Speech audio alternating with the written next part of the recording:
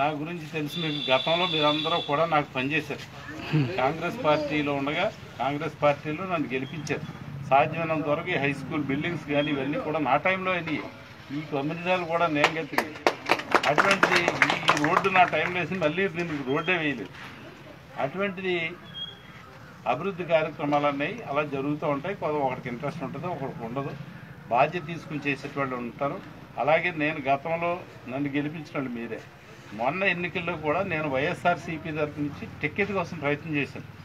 నాకు పూర్తిగా ఇవ్వడానికి కూడా జగన్మోహన్ రెడ్డి గారు కానీ సుబ్బారెడ్డి గారు కానీ అందరూ మాటలు జరిగినాయి. తంగేటి గెస్ట్ హౌస్ కూడా నన్ను తీసుకెళ్ళి తునిలో ఆయన నడుస్తున్నాడు.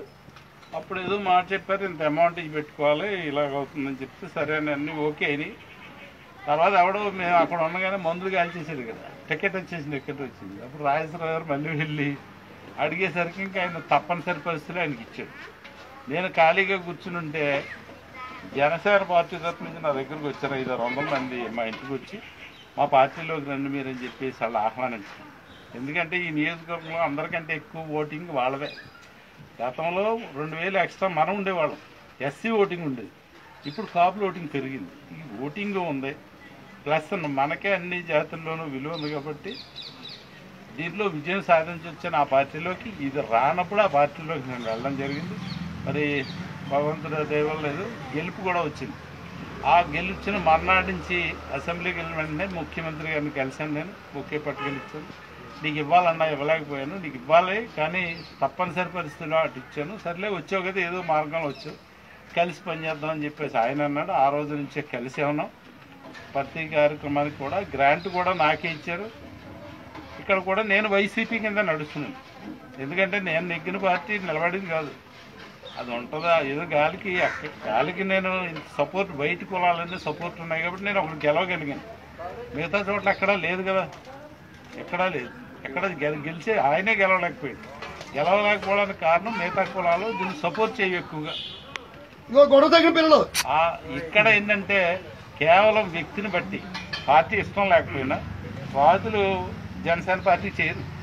కేవలం నా కోసం చేశారు అలాగే సకినేటిపల్లి మండలంలో నా చుట్టాలందరూ కూడా సకినేటిపల్లి మండలం. ఎక్కువగా మా బంధువులు అటు. ఈ బంధువులందరూ కూడా పార్టీ ఏదైనప్పటికీ కూడా నాకు ఓటేది దానివల్ల నేను గెలిచాను గెలిచిన తర్వాత వైసీపీ పార్టీ తరఫు నుంచే నేను నడుస్తున్నాను.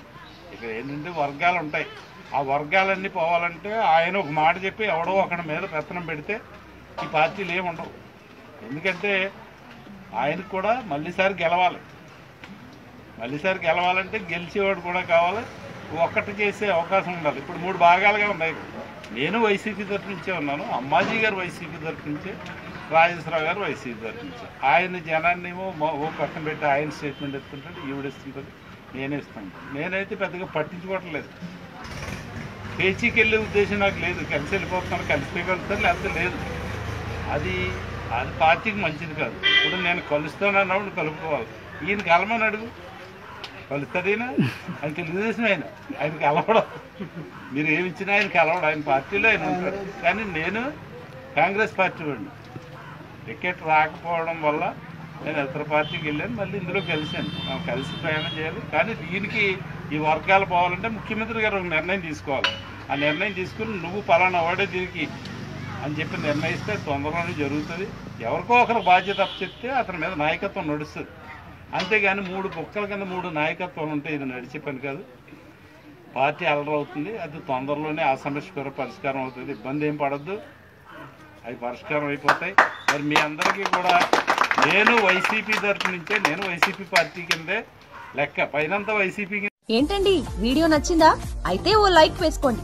లేదంటే ఓ కామెంట్ చేయండి. ఎప్పటికప్పుడు మా వీడియోస్ చూడాలంటే సబ్స్క్రైబ్ చేసుకోండి.